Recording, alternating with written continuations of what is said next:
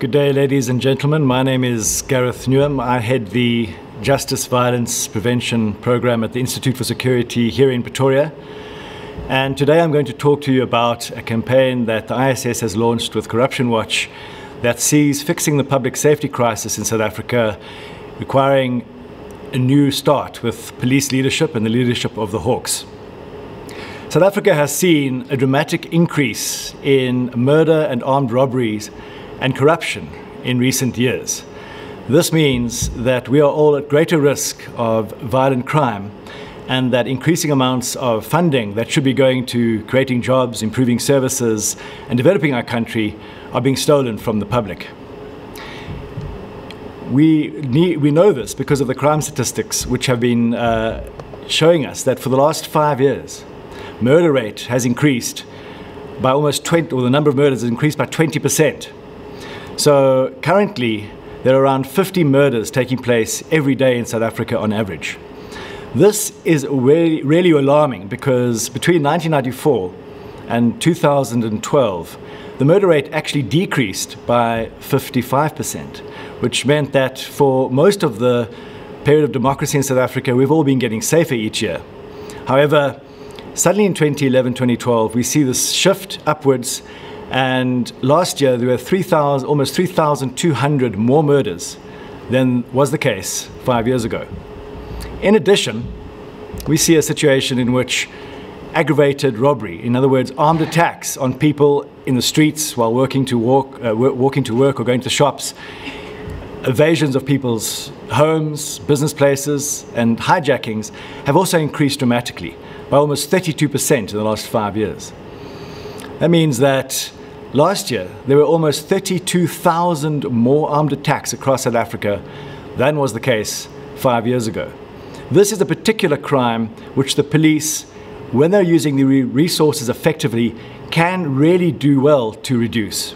In South Africa, for example, between 2009 and 2011, the police in Gauteng under the command of dedicated police professionals, were able to reduce the number of hijackings in Gauteng by 32%, the number of home invasions by 19%, and business robberies by around 20%.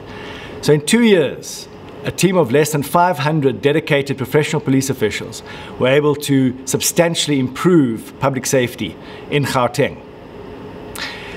Many people think the reason why we have a public safety crisis is because of police resources. In fact, that's not really the case.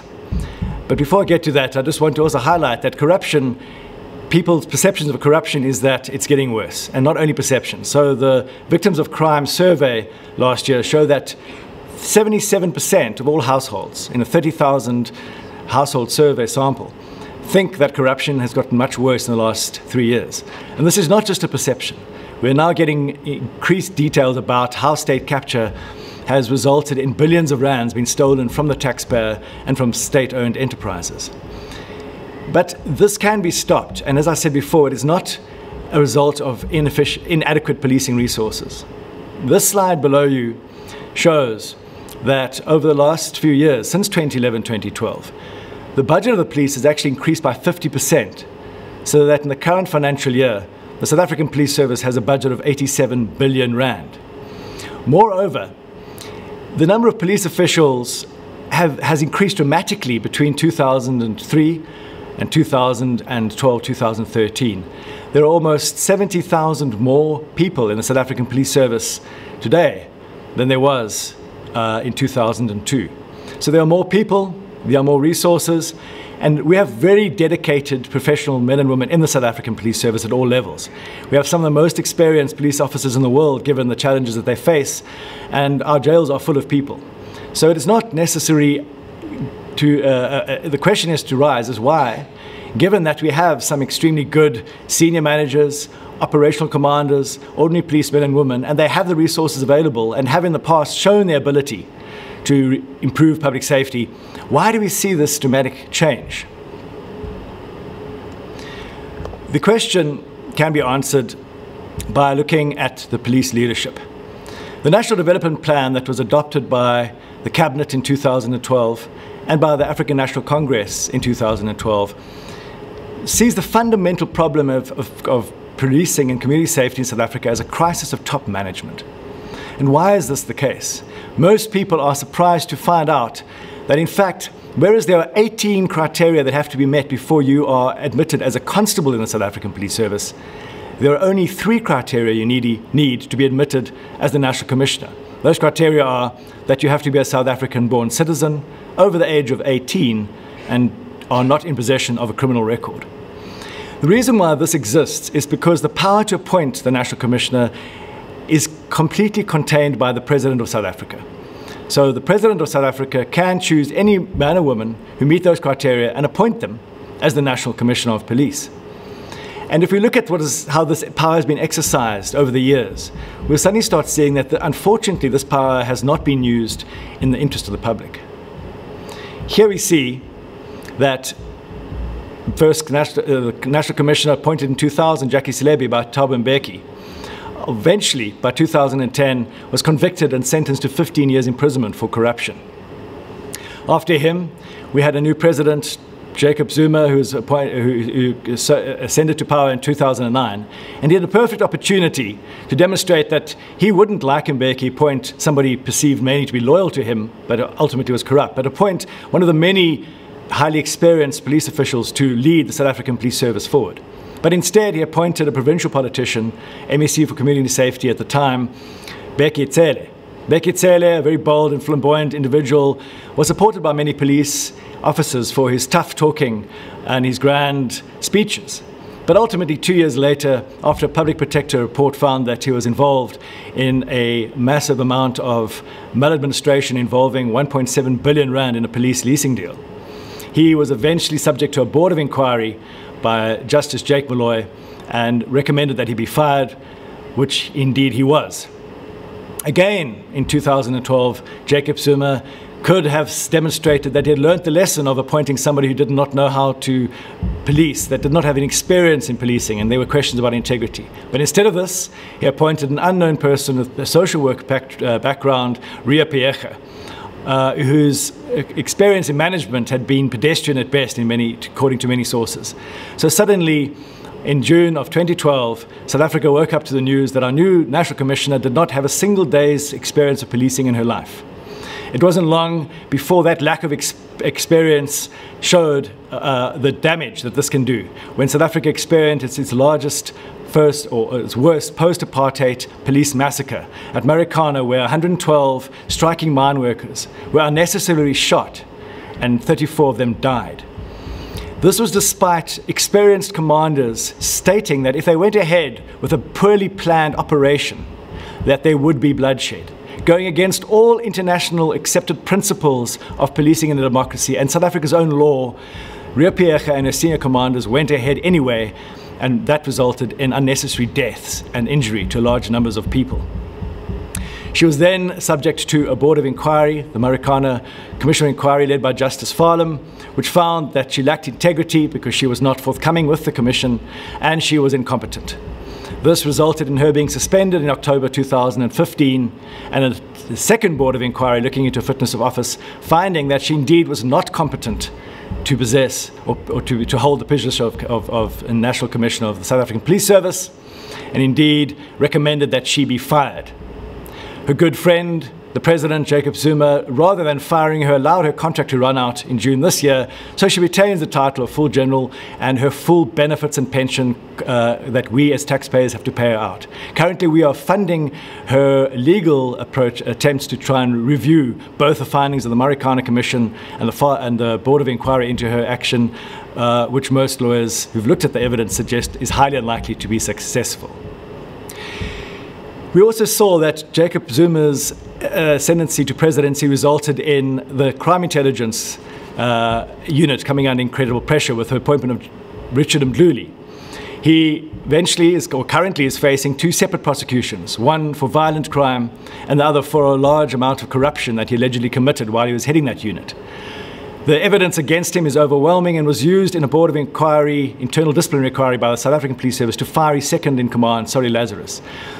In that inquiry, the advocate who was chairing it asked, Where is Richard Mdluli? Since all the reasons I'm firing this man pertain to Richard Mdluli, but rather Richard Mdluli continues to this day to be the technical head of the South African Police Intelligence Unit, and he full, receives his full salary and all perks and benefits with that, and there are allegations that he continues to meddle in intelligence and rogue intelligence operations.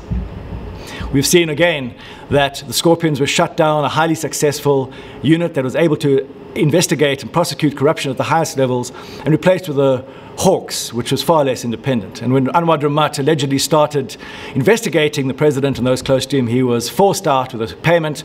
And a man who had already been found by two separate judges in two separate court, high court rulings to a man of dishonor and dishonesty and who lacked integrity was subsequently appointed to head the Hawks. And a court case has subsequently seen that appointment is irrational and he's been removed.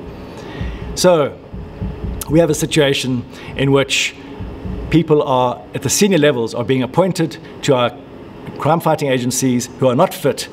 They're rational appointments. But what is the impact on the detectives and the, and the police officers on the ground? Well, for example, if you look at the detectives, in the last five years, the slide that you see before you shows the ability of the detectives to get on top of identifying those criminals involved in murders and armed robberies and other form of uh, organized violence. Of course, there are structural issues to do with oversight, with grass level command and control, with having enough resources at a detective level. But those things can only be fixed with honest and dedicated top management. Without that, you can see that the impact on the performance of the organization overall has declined substantially, with, with overall violent crime detection rate dropping from 60, almost 61% in 2011-12 to last year 37%, and a reduction uh, in the murder detection rate, so that only 25% of murder cases are actually solved by the police. Three out of four murder cases go unsolved. And, and, even worse, less than one in five armed robbery cases go unsolved. So, of course, if you're a criminal involved in murder and armed robbery, the chances of being arrested and brought to justice are highly unlikely, and that means other people start doing these crimes, and this is the reason why we're seeing dramatic increases in murder and armed robbery. When it comes to visible policing, men and women on the ground who are on the front, uh, front uh, lines of crime are also not getting the, the, the, the, focus they need, the support they need, the leadership they need. And this slide shows how visible policing has also substantially declined in the last five years.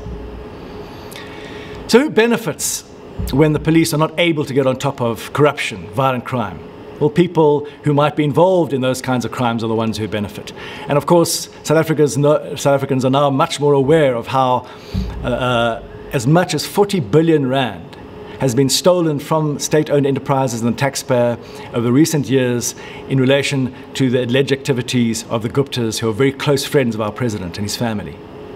So the president, who appoints the head of the Hawks, whose job it is to fight corruption, the head of the police, whose job it is to fight violent crime and corruption, has no interest in ensuring that the best man or woman is appointed, if it is indeed true he's closely linked to, high, to grand corruption and state capture.